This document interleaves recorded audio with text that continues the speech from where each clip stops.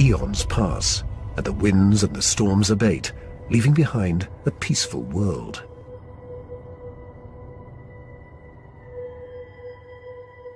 Suddenly, two stars loom in the sky. These are the burned out cores of long dead stars haunting the cluster. In the very dense environment of a globular cluster, you have lots of stellar collisions, near collisions, systems in which one star is kicked out and another one kicks in. In a cosmic dance of gravity, similar to the migration of planets, one of the stars is kicked out and replaced by Methuselah's parent star. Methuselah is now a planet with two suns. Every day has two dawns and two sunsets. Every cloud and every object casts two shadows. Over time, the original parent star begins to expand, a sign that the star is dying. It swells until it becomes a giant red star and spills onto the neutron star. The neutron star devours the red giant.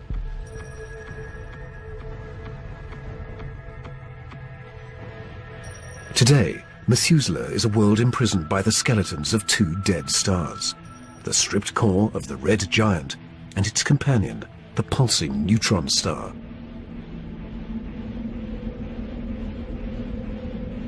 Methuselah is a survivor. But nothing compares to the weird anomaly of a pulsar some 980 light-years from Earth in the constellation of Virgo.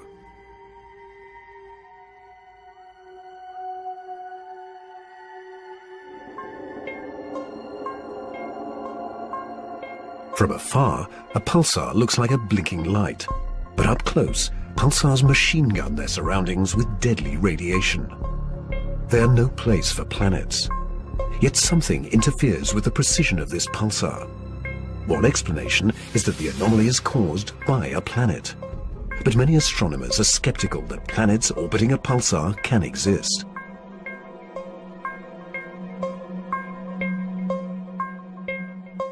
The reason that's a problem is because pulsars are formed in these incredible explosions. When a red giant star explodes, a titanic fireball known as a supernova unleashes as much energy in one minute as our sun generates in a lifetime. When a star goes supernova, the shockwave is so immense it's hard to imagine any planet surviving that.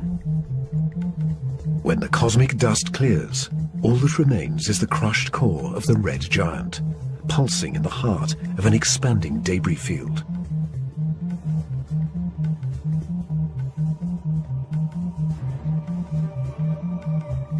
Matter blasted from the colossal explosion falls back to the pulsar and forms a disk. Within this chaos, a new world arises, born from fire and destruction, a planetary zombie raised from the carcass of the former red giant star.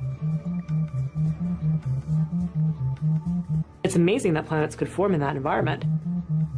A planet orbiting a pulsar will give you the feeling of being in a disco bar with a very strong strobe light, which is the pulsar.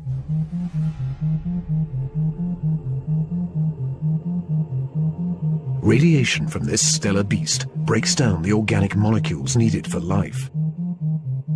The pulsar has these very strong magnetic fields that are being spun around as the star is rotating quickly, and it's picking up any material, electrons, protons, and speeding them up and slinging them out at, at high speed. So it's like a, a solar wind with a vengeance.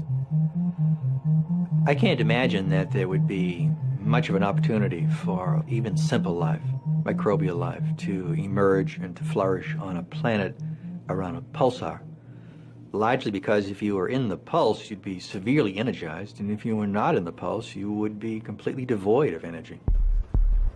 The discovery of pulsar planets shows how new worlds can form in the wake of a star's destruction.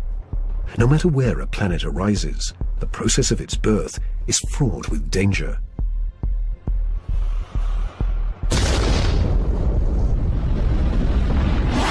Sometimes the violence is so great, the end of the world comes before the beginning.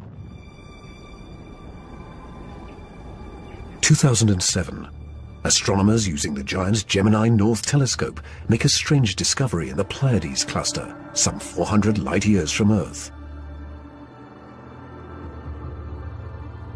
A star known only by its catalogue number HD 23514 is surrounded by a giant donut-shaped cloud of dust and gas. The star in the middle of the donut shape is about 100 million years old, a cosmic toddler in astronomical terms. Our Sun is 45 times older. The conditions are perfect for planets to form. But spectral analysis finds something strange. The dust is utterly pulverized.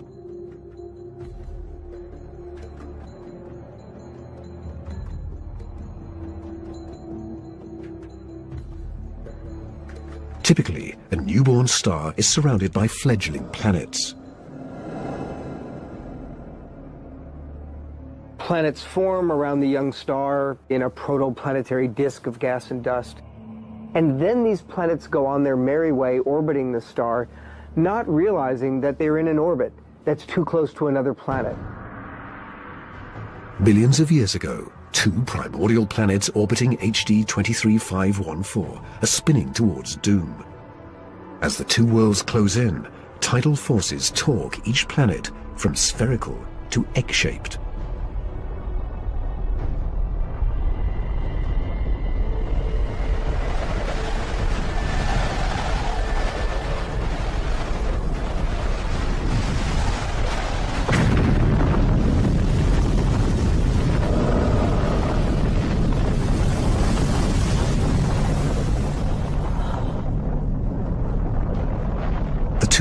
Are annihilated, creating the dust and debris seen around star HD 23514.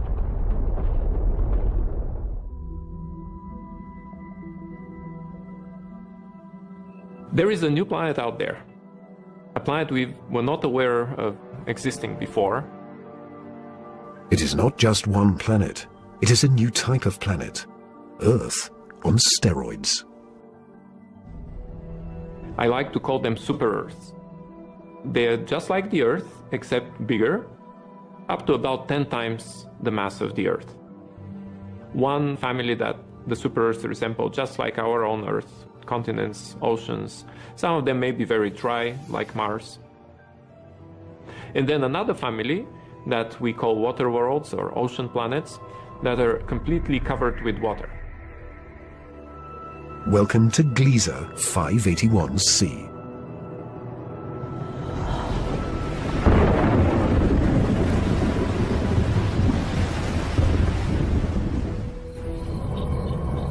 This planet was found by Michel Mayor, and it orbits with two other planets around a very small star.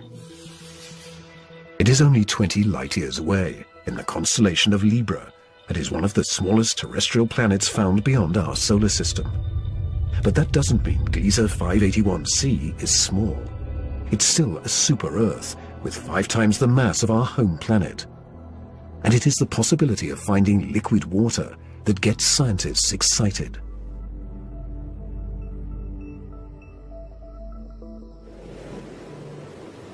An ocean planet feels like being in the middle of the Pacific Ocean. With no land in sight, just water, puffy white clouds and blue sky above you. The winds on the ocean world are going to be similar to that of the Earth. So it will be a very good place to sail. The weather's absolutely perfect. Every day you get a clear blue sky and the sun just stays in the same place. Now, how's that for weather prediction? No land anywhere, even far beneath the surface. When you have a large amount of water, then at the bottom of an ocean, you will form very high pressure in excess of a million atmospheres. And that pressure will compress the liquid water, that is the ocean, into a state which we call ice 7.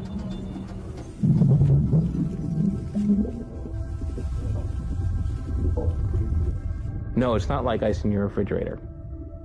The molecules of water that are in the ice in your refrigerator are kind of all jumbled up. But if you form ice under very high pressure, then the water molecules can become ordered, they can become aligned.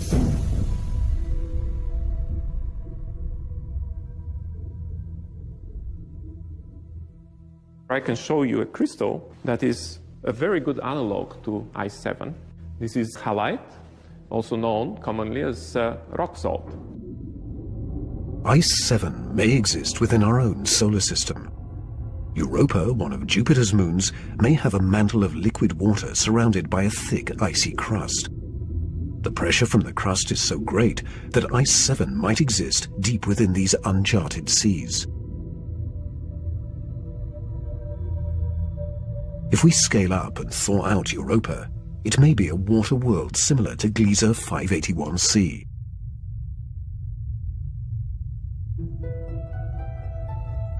One could imagine that life could emerge on a water world.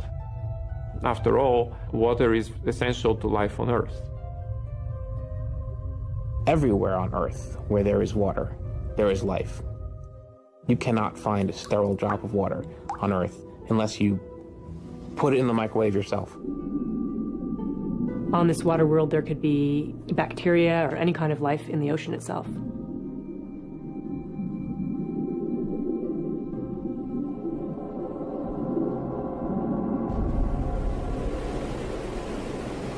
But not all super Earths are water worlds teeming with life. When we talk about super Earths, we talked about two major families of mostly rocky with some water and uh, mostly water with an endless ocean. But one has to add to those a third family of probably very rare super Earths and Earth like planets, which uh, are called carbon planets. A carbon planet is unlike anything we've ever seen anywhere. A place with an alien chemistry, but loaded with very earthly treasures.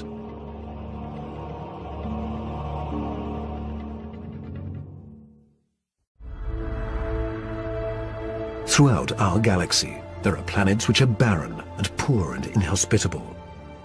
But science is on the trail of a new type of planet, an entire world of treasure. In our own solar system, in our sun and in all the stars nearby, there's always more oxygen than carbon. But if we think of a place in the universe where there's more carbon than oxygen, then planet formation is very different. Spectral analysis shows carbon to be far more plentiful 26,000 light-years away, near the center of our galaxy. Planets that form here may contain a rich abundance of carbon.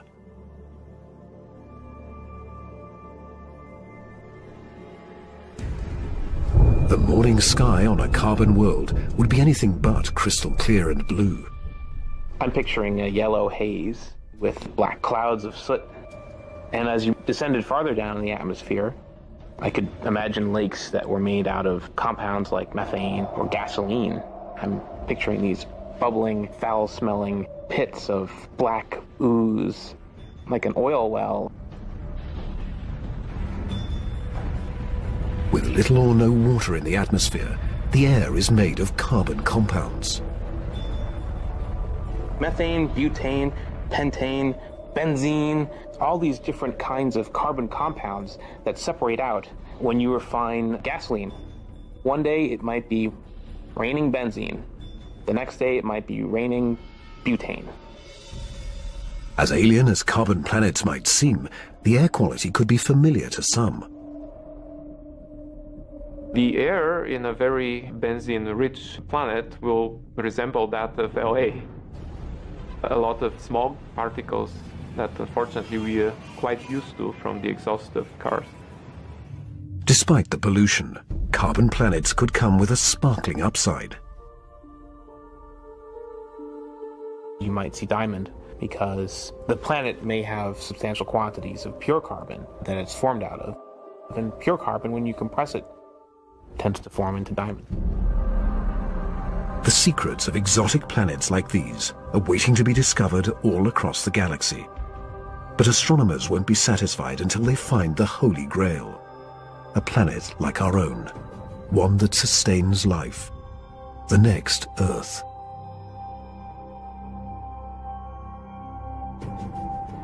People always ask me, do I think we're going to find another planet like Earth? And I answer, absolutely. Every star is likely to have planets roughly the same size as our Earth. We think that essentially every star has several Earth mass or super Earth mass planets.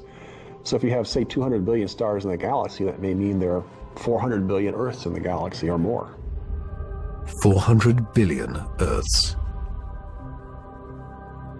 The Kepler Space Observatory is the first instrument capable of finding one of these planets. Kepler is looking at the constellation Cygnus in the night sky at 100,000 stars, taking picture after picture after picture, minute after minute. And the goal of Kepler is simple to look for stars among the 100,000 that dim. When a star dims slightly, it means a planet is passing in front, blocking some of the light. How long the star dims and how much light gets blocked will tell scientists about the size of the planet and the distance from its sun. A good analogy for this is looking for the dip in the light that you would see from a searchlight if a small moth flew across the searchlight. And so it's a really tiny dip in the light as the planet transits. It is a very powerful technique because it allows you uh, to uh, discover planets that are even smaller than the size of the Earth around stars similar to the Sun. It is a technique that is changing the course of science. We think we may be able to find a planet that is habitable in the next few years. Scientists estimate that the Kepler mission will find a minimum of 50 alien Earths. One of the big questions that anybody looking for life beyond the Earth is facing today is what if we don't recognize life even though we discover it? Conditions on an alien Earth may cause life to evolve differently.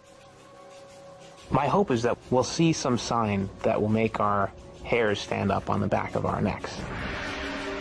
Whatever that sign is, it will be the first chapter of the greatest scientific story ever told.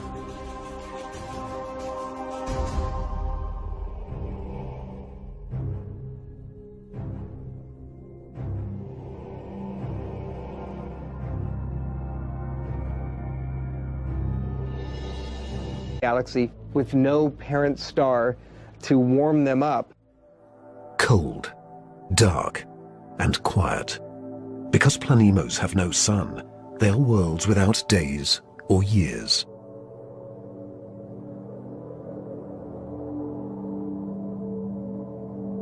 They keep vigil through an eternal night. Planemos are solitary wanderers, sentinels of the galaxy.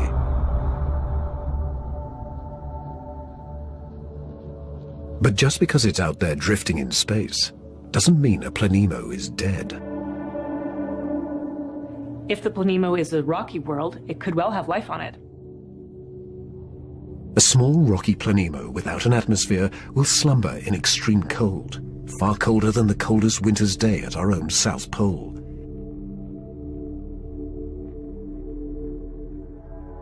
But a planemo large enough to retain an atmosphere traps the heat generated when the planet was first formed.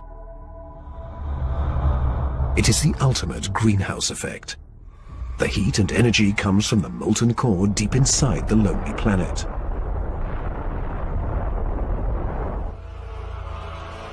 If the Planemo is a gas giant like Jupiter, it may have a system of moons.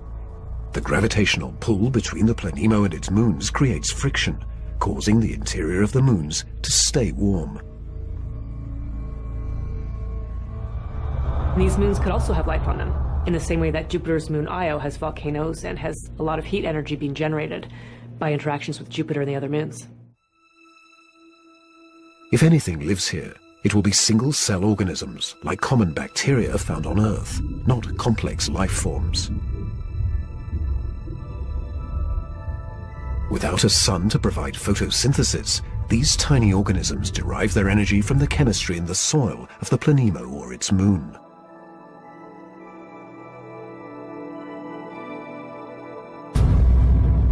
Similar conditions do exist on Earth. Colonies of bacteria are found deep within mine shafts in South Africa.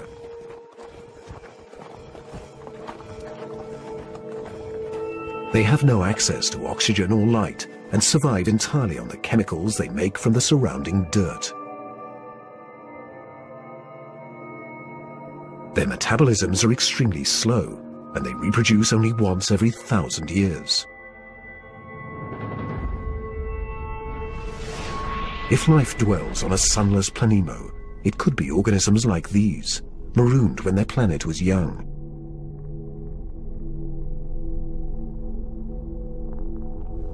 Planemos slumber undisturbed, one world has been racked by chaotic changes since the dawn of time.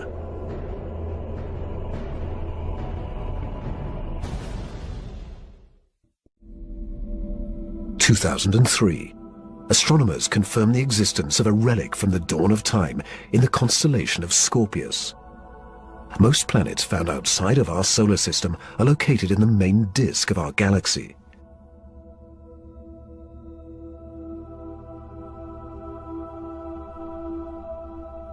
But this world is perched high above the plane of the Milky Way in a cluster of nearly 10,000 primordial stars.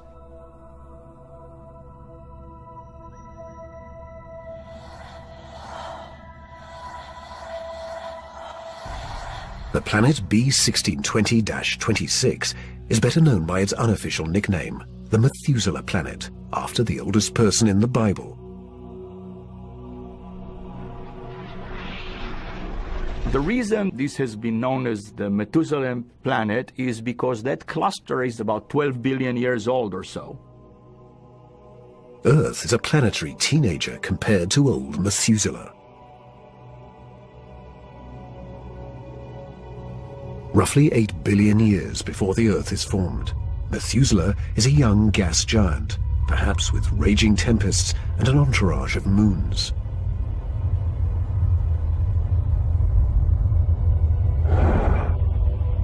Eons pass, and the winds and the storms abate, leaving behind a peaceful world.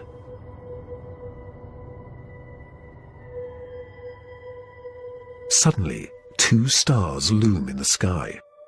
These are the burned-out cores of long-dead stars haunting the cluster.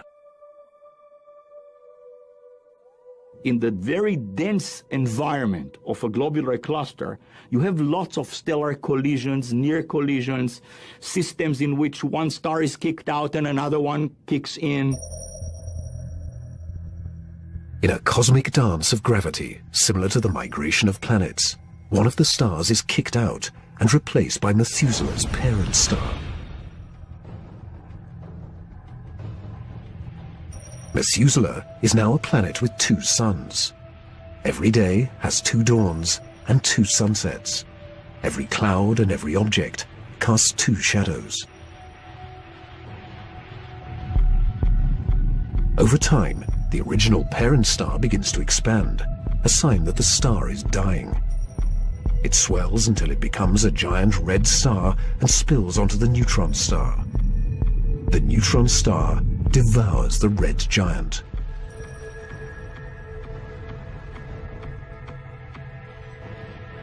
Today, Methuselah is a world imprisoned by the skeletons of two dead stars, the stripped core of the red giant and its companion, the pulsing neutron star.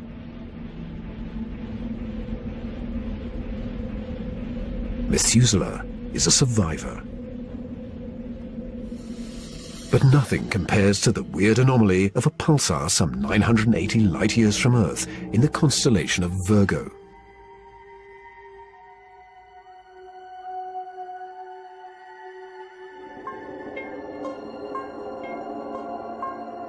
From afar, a pulsar looks like a blinking light. But up close, pulsars machine gun their surroundings with deadly radiation. They are no place for planets. Yet something interferes with the precision of this pulsar. One explanation is that the anomaly is caused by a planet. But many astronomers are skeptical that planets orbiting a pulsar can exist.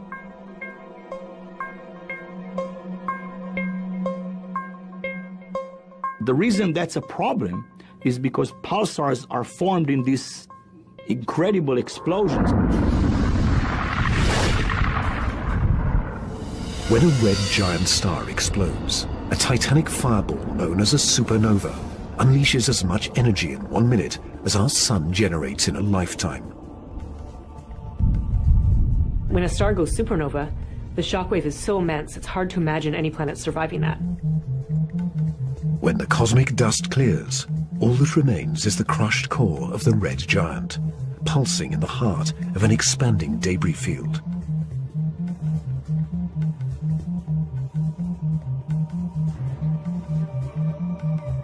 Matter blasted from the colossal explosion falls back to the pulsar and forms a disk.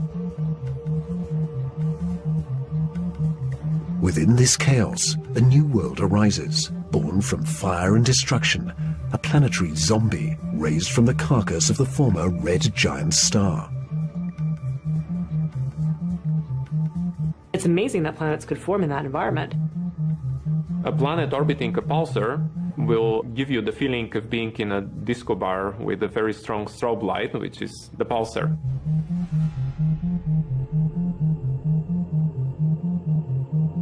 Radiation from this stellar beast breaks down the organic molecules needed for life. The pulsar has these very strong magnetic fields that are being spun around as the star is rotating quickly, and it's picking up any material, electrons, protons, and speeding them up and slinging them out at, at high speeds. So it's like a, a solar wind with a vengeance. I can't imagine that there would be much of an opportunity for even simple life, microbial life, to emerge and to flourish on a planet around a pulsar. Largely because if you were in the pulse, you'd be severely energized, and if you were not in the pulse, you would be completely devoid of energy. The discovery of pulsar planets shows how new worlds can form in the wake of a star's destruction. No matter where a planet arises, the process of its birth is fraught with danger.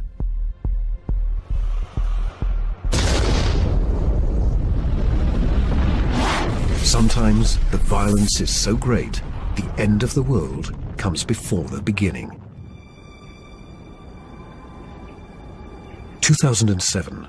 Astronomers using the giant Gemini North Telescope make a strange discovery in the Pleiades cluster, some 400 light years from Earth. A star known only by its catalogue number HD 23514 is surrounded by a giant donut-shaped cloud of dust and gas. The star in the middle of the donut shape is about 100 million years old, a cosmic toddler in astronomical terms. Our Sun is 45 times older. The conditions are perfect for planets to form. But spectral analysis finds something strange. The dust is utterly pulverized.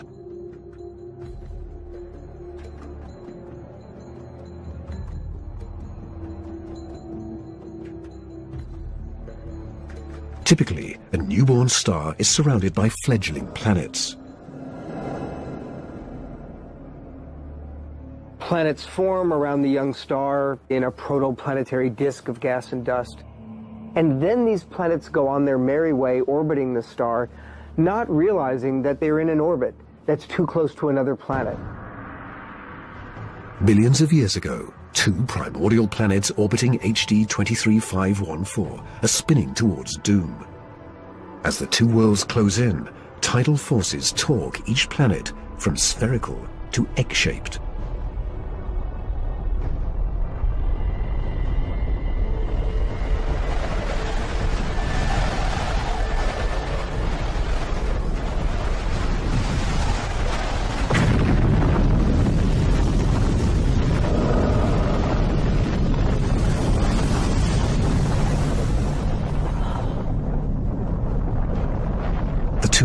Are annihilated, creating the dust and debris seen around star HD 23514.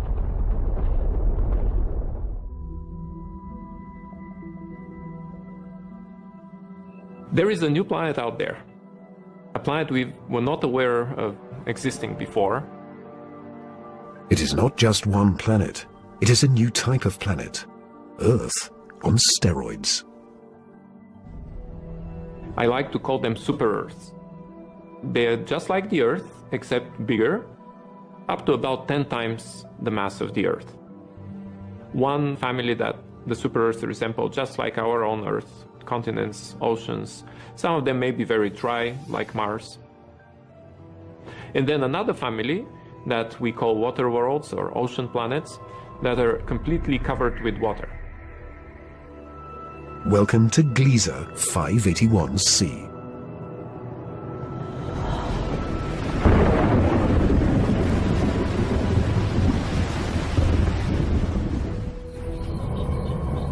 This planet was found by Michel Mayor, and it orbits with two other planets around a very small star. It is only 20 light years away, in the constellation of Libra, and is one of the smallest terrestrial planets found beyond our solar system. But that doesn't mean Gliese 581c is small. It's still a super-Earth, with five times the mass of our home planet. And it is the possibility of finding liquid water that gets scientists excited.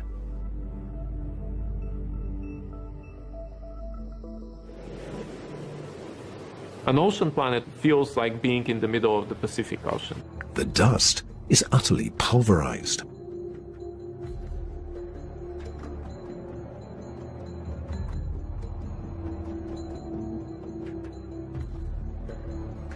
Typically, a newborn star is surrounded by fledgling planets. Planets form around the young star in a protoplanetary disk of gas and dust. And then these planets go on their merry way orbiting the star, not realizing that they're in an orbit that's too close to another planet. Billions of years ago, two primordial planets orbiting HD 23514 are spinning towards doom. As the two worlds close in, tidal forces torque each planet from spherical to egg-shaped.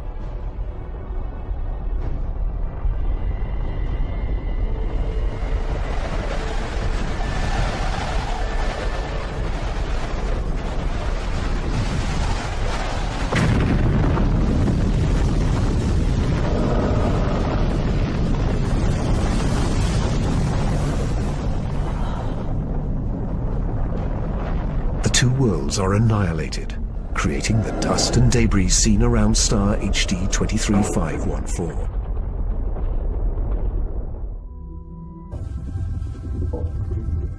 No, it's not like ice in your refrigerator. The molecules of water that are in the ice in your refrigerator are kind of all jumbled up. But if you form ice under very high pressure, then the water molecules can become ordered, they can become aligned.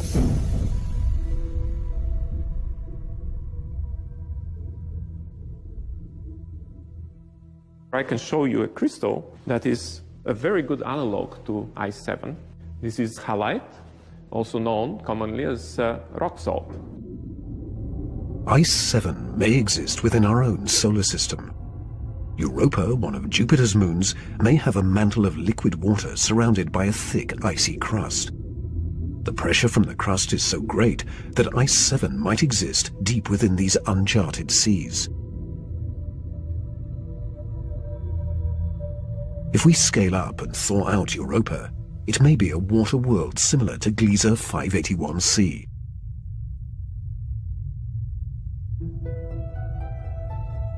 One could imagine that life could emerge on a water world. After all, water is essential to life on Earth. Everywhere on Earth where there is water, there is life. You cannot find a sterile drop of water on Earth unless you imagine any planet surviving that. When the cosmic dust clears, all that remains is the crushed core of the red giant, pulsing in the heart of an expanding debris field.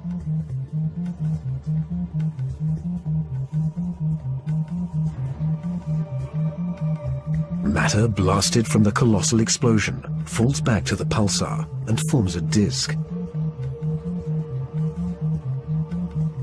Within this chaos, a new world arises, born from fire and destruction, a planetary zombie raised from the carcass of the former red giant star. It's amazing that planets could form in that environment.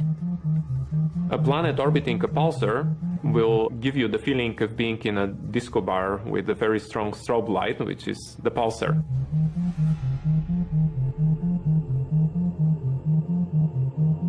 Radiation from this stellar beast breaks down the organic molecules needed for life.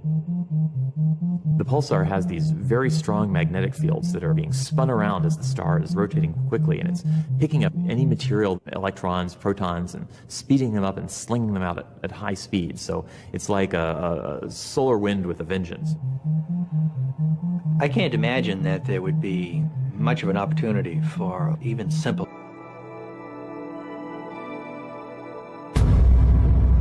Similar conditions do exist on Earth. Colonies of bacteria are found deep within mine shafts in South Africa.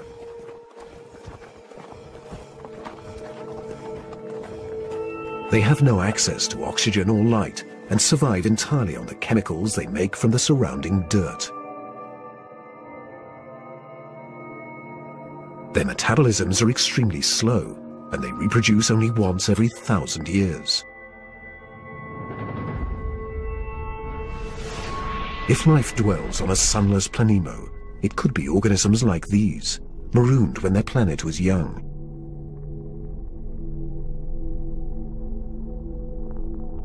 While planemos slumber undisturbed, one world has been racked by chaotic changes since the dawn of time.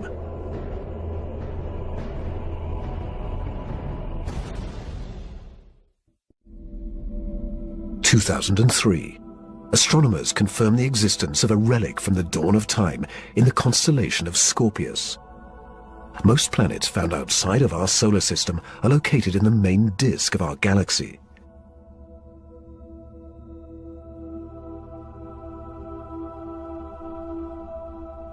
But this world, radiation from this stellar beast breaks down the organic molecules needed for life. The pulsar has these very strong magnetic fields that are being spun around as the star is rotating quickly, and it's picking up any material, electrons, protons, and speeding them up and slinging them out at, at high speed. So it's like a, a solar wind with a vengeance. I can't imagine that there would be much of an opportunity for even simple life, microbial life, to emerge and to flourish on a planet around a pulsar largely because if you were in the pulse, you'd be severely energized, and if you were not in the pulse, you would be completely devoid of energy. The discovery of pulsar planets shows how new worlds can form in the wake of a star's destruction. No matter where a planet arises, the process of its birth is fraught with danger.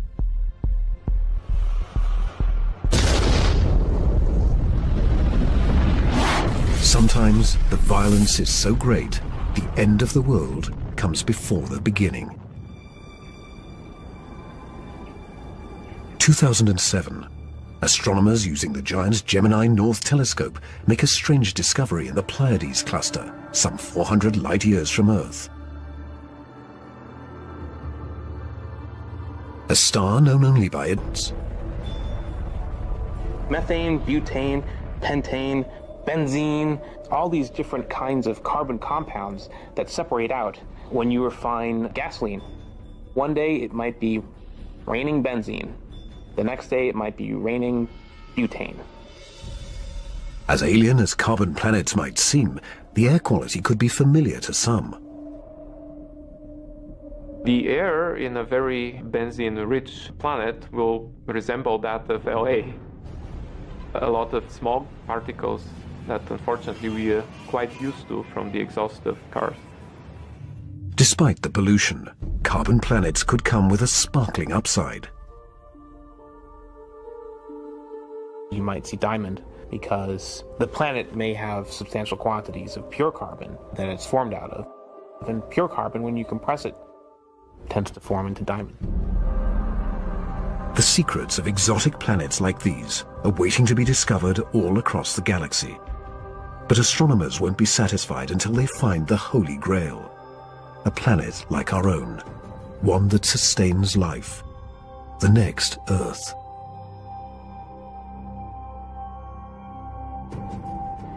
People always ask me, do I think we're going to find another planet like Earth? And then another family that we call water worlds or ocean planets that are completely covered with water. Welcome to Gliese 581c.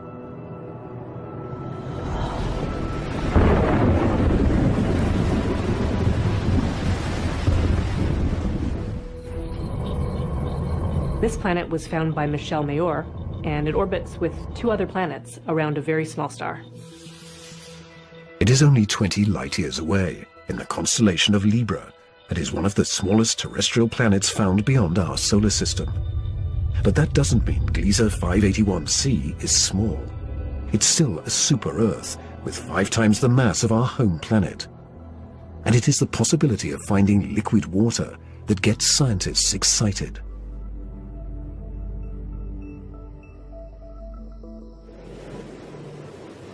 An ocean planet feels like being in the middle of the Pacific Ocean.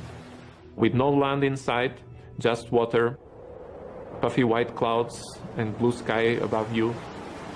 The winds on the ocean world are going to be similar to that of the Earth. So it will be a very good place to sail. The weather's absolutely perfect. Every day you get a clear blue sky, and the sun just stays in the same place. In this chaos, a new world arises, born from fire and destruction, a planetary zombie raised from the carcass of the former red giant star. It's amazing that planets could form in that environment. A planet orbiting a pulsar will give you the feeling of being in a disco bar with a very strong strobe light, which is the pulsar.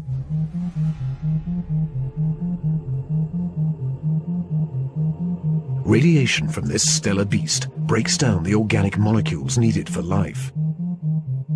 The pulsar has these very strong magnetic fields that are being spun around as the star is rotating quickly, and it's picking up any material, electrons, protons, and speeding them up and slinging them out at, at high speed. So it's like a, a solar wind with a vengeance.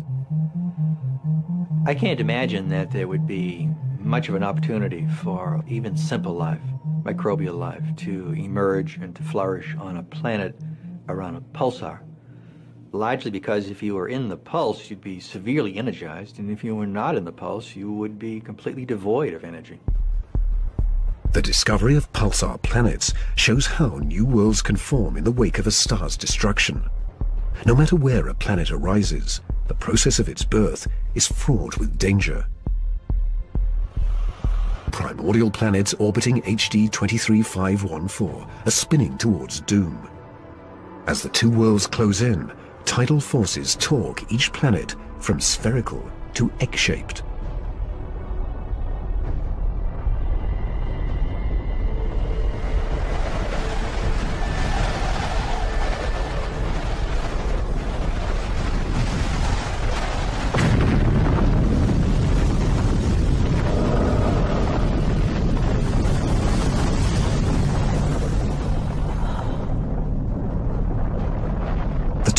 Worlds are annihilated, creating the dust and debris seen around star HD 23514.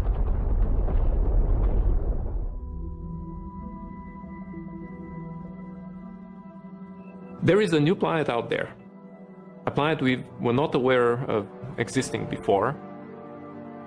It is not just one planet, it is a new type of planet, Earth on steroids. I like to call them super Earths. They're just like the Earth, except bigger, up to about 10 times the mass of the Earth. One family that the super Earths resemble just like our own Earth.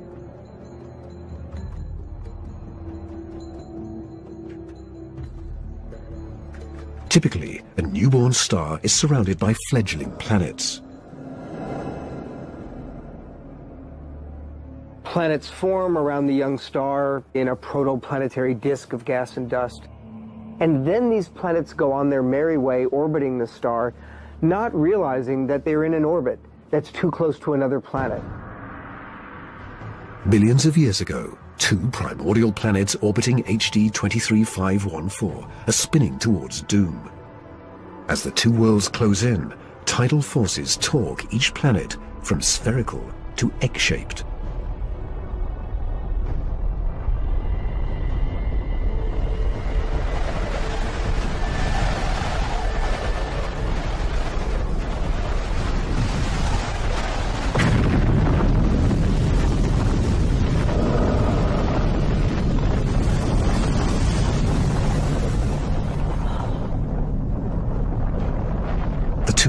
Are annihilated, creating the dust and debris seen around star HD 23514.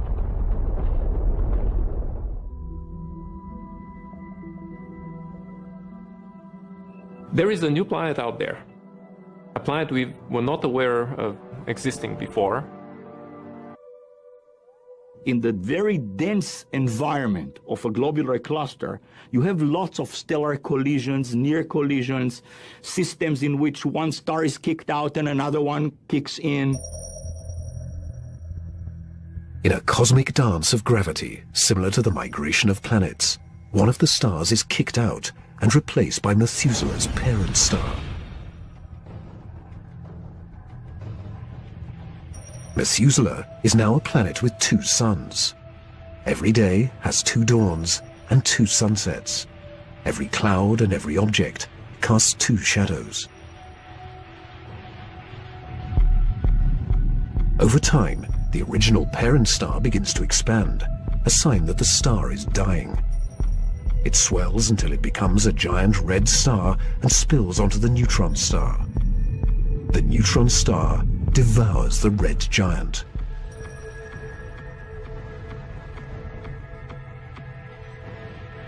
Today, Methuselah is a world imprisoned by the skeletons of two dead stars, the stripped core of the red giant and its companion, the pulsing neutron star.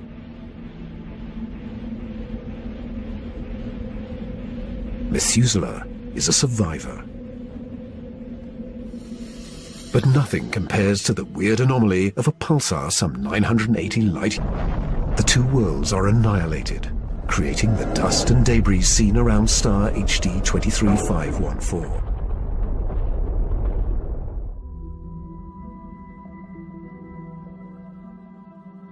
There is a new planet out there, a planet we were not aware of existing before. It is not just one planet. It is a new type of planet. Earth on steroids. I like to call them super Earths. They're just like the Earth, except bigger, up to about 10 times the mass of the Earth. One family that the super Earths resemble just like our own Earth continents, oceans. Some of them may be very dry, like Mars. And then another family that we call water worlds or ocean planets that are completely covered with water. Welcome to Gliese 581c.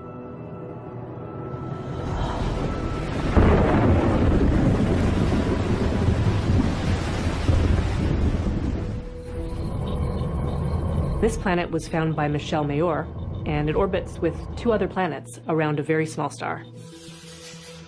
It is only 20 light years away, in the constellation of Libra, and is one of the smallest terrestrial planets found beyond our solar system.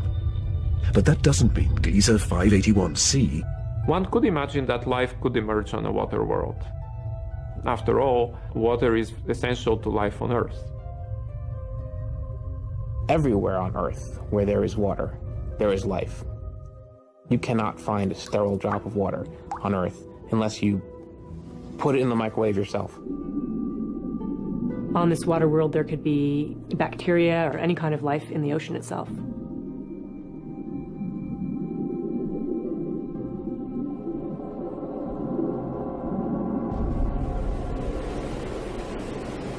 But not all super Earths are water worlds teeming with life. When we talk about super Earths, we talked about two major families of mostly rocky with some water and uh, mostly water with an endless ocean. But one has to add to those a third family of probably very rare super Earths and Earth like planets, which uh, are called carbon planets. A carbon planet is unlike anything we've ever seen anywhere. A place with an alien chemistry, but loaded with very earthly treasures.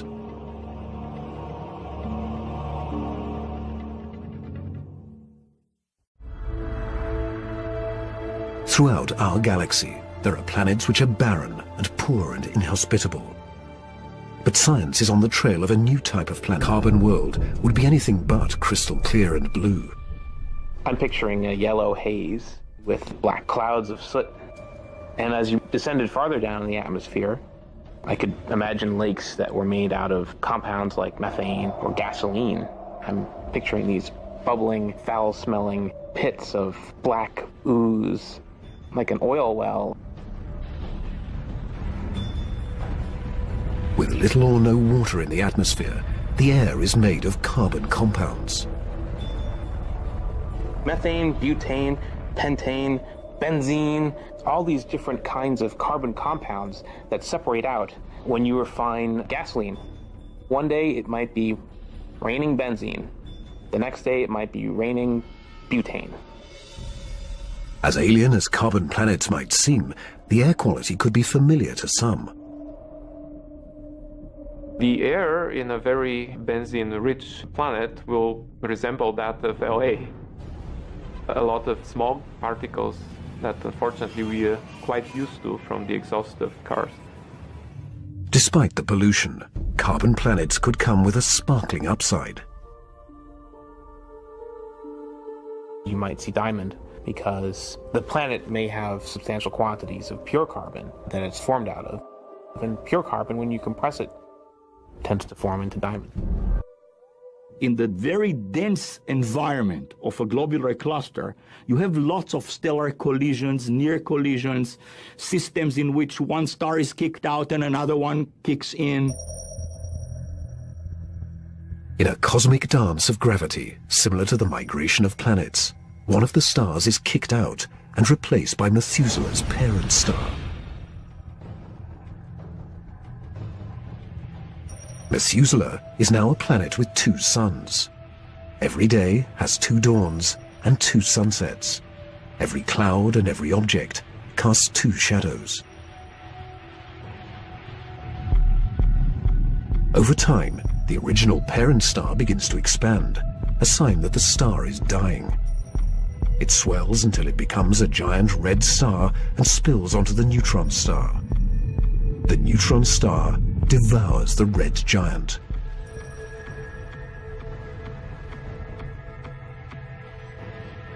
Today, Methuselah is a world imprisoned by the skeletons of two dead stars, the stripped core of the red giant and its companion, the pulsing neutron star.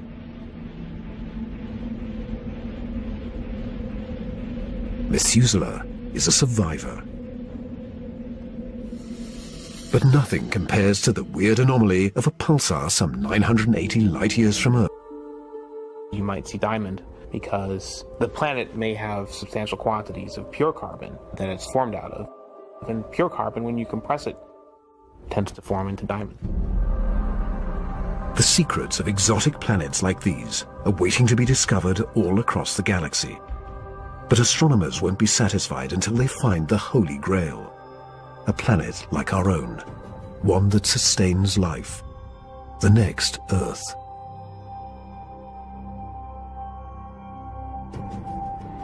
People always ask me, do I think we're going to find another planet like Earth? And I answer, absolutely. Every star is likely to have planets roughly the same size as our Earth. We think that essentially every star has several Earth mass or super Earth mass planets. So if you have, say, 200 billion stars in the galaxy, that may mean there are 400 billion Earths in the galaxy or more. 400 billion Earths. The Kepler Space Observatory is the first instrument capable of finding one of these planets. Kepler is looking at the constellation Cygnus in the night sky at 100,000 stars, taking picture after picture after picture, minute after minute. And the goal of Kepler is simple to look. Parent star. Methuselah is now a planet with two suns. Every day has two dawns and two sunsets. Every cloud and every object casts two shadows.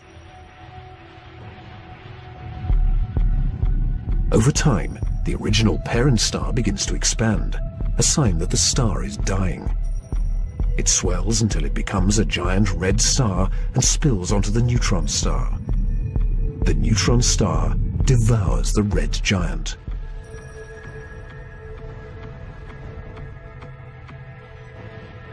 Today, Methuselah is a world imprisoned by the skeletons of two dead stars.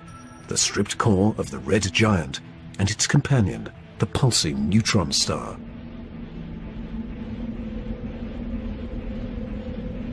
Methuselah is a survivor. But nothing compares to the weird anomaly of a pulsar some 980 light years from Earth in the constellation of Virgo.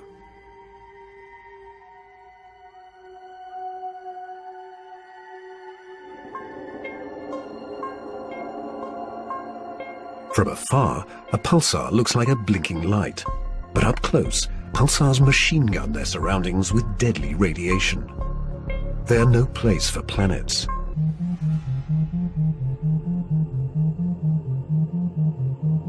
Radiation from this stellar beast breaks down the organic molecules needed for life. The pulsar has these very strong magnetic fields that are being spun around as the star is rotating quickly, and it's picking up any material, electrons, protons, and speeding them up and slinging them out at, at high speed. So it's like a, a solar wind with a vengeance. I can't imagine that there would be much of an opportunity for even simple life microbial life to emerge and to flourish on a planet around a pulsar. Largely because if you were in the pulse, you'd be severely energized, and if you were not in the pulse, you would be completely devoid of energy. The discovery of pulsar planets shows how new worlds can form in the wake of a star's destruction. No matter where a planet arises, the process of its birth is fraught with danger.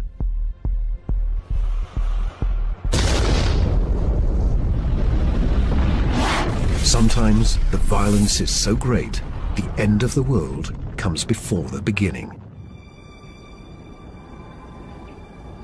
2007. Astronomers using the giant Gemini North Telescope make a strange discovery in the Pleiades cluster, some 400 light years from Earth.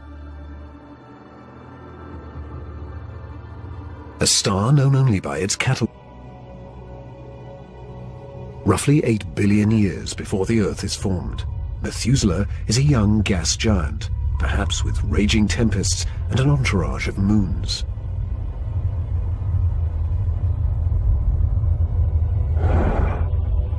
Eons pass, and the winds and the storms abate, leaving behind a peaceful world.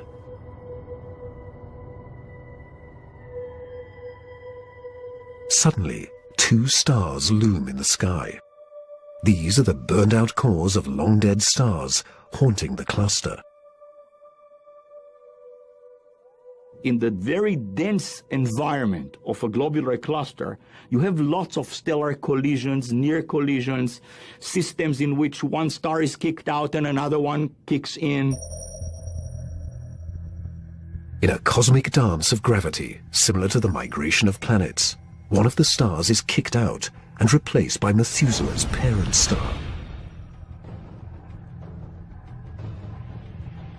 Methuselah is now a planet with two suns. Every day has two dawns and two sunsets. Every cloud and every object casts two shadows. Over time, the original parent star begins to expand, a sign that the star is dying. It's a water then at the bottom of an ocean, you will form very high pressure in excess of a million atmospheres. And that pressure will compress the liquid water, that is the ocean, into a state which we call ice 7.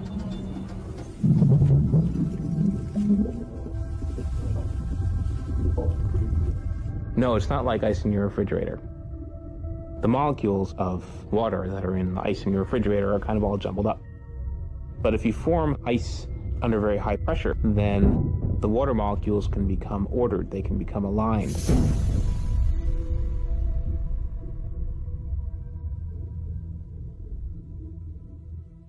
I can show you a crystal that is a very good analog to ice 7. This is halite, also known commonly as uh, rock salt. Ice 7 may exist within our own solar system, Europa, one of Jupiter's moons, may have a mantle of liquid water surrounded by a thick, icy crust. The pressure from the crust is so great that Ice 7 might exist deep within these uncharted seas. If we scale up and thaw out Europa, it may be a water world similar to Gliese 581c.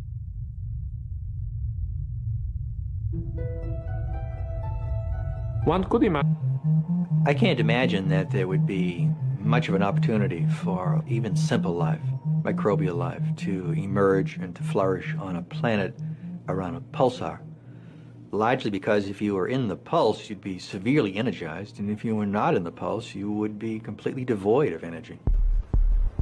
The discovery of pulsar planets shows how new worlds can form in the wake of a star's destruction. No matter where a planet arises, the process of its birth is fraught with danger.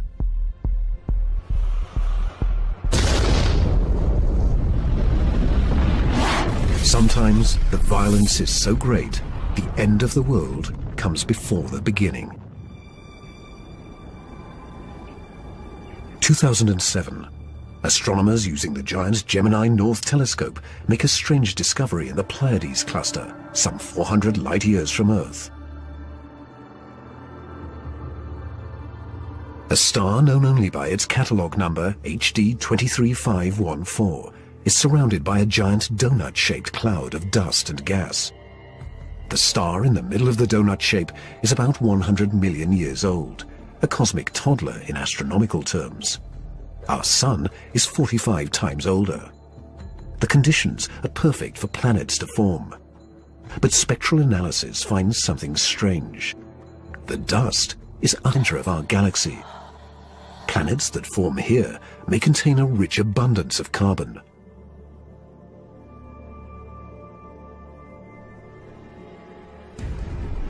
The morning sky on a carbon world would be anything but crystal clear and blue. I'm picturing a yellow haze with black clouds of soot. And as you descended farther down in the atmosphere, I could imagine lakes that were made out of compounds like methane or gasoline. I'm picturing these bubbling, foul smelling pits of black ooze, like an oil well. With little or no water in the atmosphere, the air is made of carbon compounds.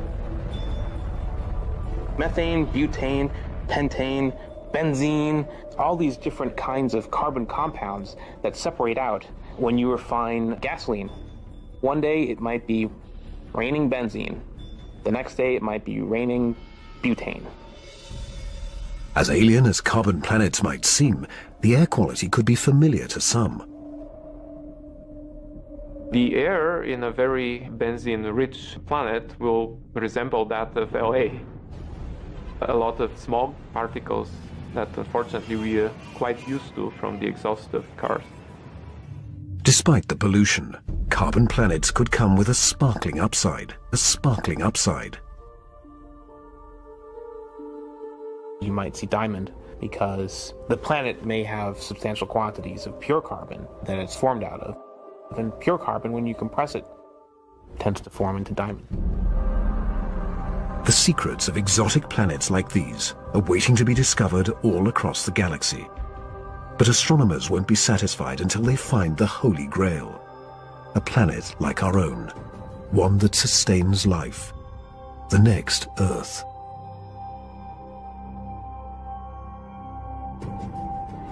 People always ask me, do I think we're going to find another planet like Earth? And then another family that we call water worlds or ocean planets that are completely covered with water. Welcome to Gliese 581c.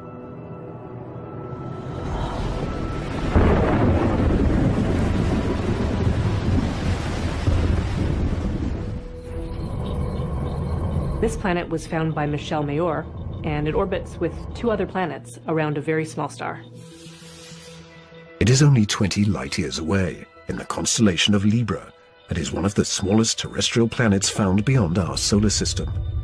But that doesn't mean Gliese 581c is small. It's still a super-Earth, with five times the mass of our home planet.